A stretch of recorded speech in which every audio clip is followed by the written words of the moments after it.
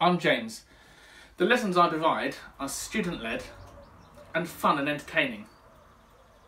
My main goal is that you, the student, are engaged at all times and taking full advantage of the expertise that I have to offer you. I specialise in folk music, but I will teach music theory during the lesson. Uh, and if you wish, I'm happy to teach the ABRSM grades as well. But the main purpose of my lessons is to have fun whilst learning. Okay, thank you.